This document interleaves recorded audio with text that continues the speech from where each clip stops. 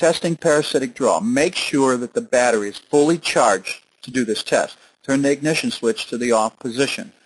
You're going to be working with the hood up, so make sure that the hood lamp goes out when the hood is lowered. Disconnect the hood lamp or remove the bulb.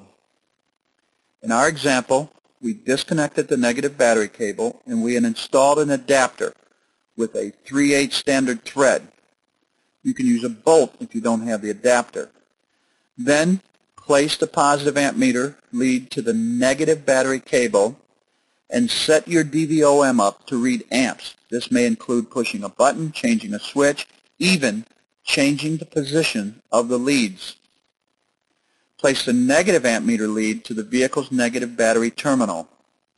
Now cycle the ignition switch to the on position and then to the off position. This will help processors go into the rest mode because now you're going to have to wait several minutes for these processors to go into their rest mode. This can take as little as 2 minutes up to 12 minutes on some big vehicles. After several minutes, read the amps. On a normal vehicle, they should not read more than 125 milliamps.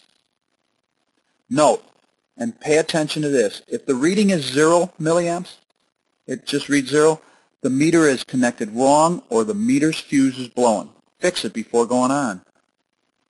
Some high-end vehicles may have a parasitic draw up to 500 milliamps.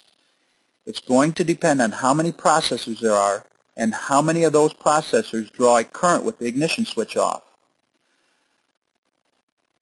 High-end vehicles that have high parasitic draw also have a high CCA rated battery. Make sure the battery has a CCA rating that is equal to or higher than the OEM battery.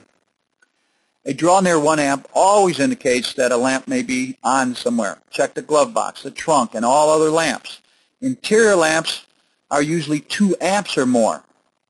If it isn't a lamp, something obvious causing excessive draw, begin by removing a fuse or relay one at a time until the amps fall to normal. Here our amp meter fell to 49 milliamps, indicating that when we remove this fuse, that was the circuit that's causing the draw.